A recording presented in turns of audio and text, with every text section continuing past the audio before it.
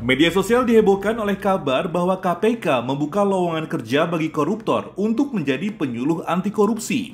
Akun Instagram @fraksirakyat underscore ID membagikan kabar itu pada 22 Agustus 2021.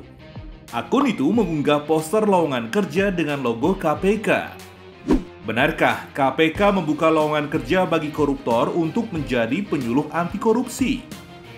Dari hasil penelusuran tim kami, faktanya informasi mengenai lowongan kerja penyuluh anti korupsi telah dibantah KPK. Melalui akun Twitter resmi at KPK underscore RI menjelaskan, hanya menjajaki kemungkinan untuk menggunakan testimoni dari para mantan narapidana tersebut sebagai pembelajaran kepada masyarakat, agar tidak melakukan tindak pidana korupsi.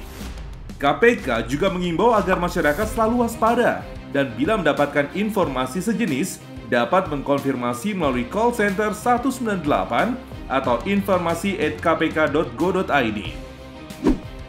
Kesimpulannya, klaim bahwa KPK membuka lowongan kerja bagi koruptor untuk menjadi penyuluh anti korupsi adalah salah. Informasi ini masuk kategori hoax jenis fabricated content atau konten palsu. Konten ini dibentuk dengan kandungan 100% yang tidak bisa dipertanggungjawabkan secara fakta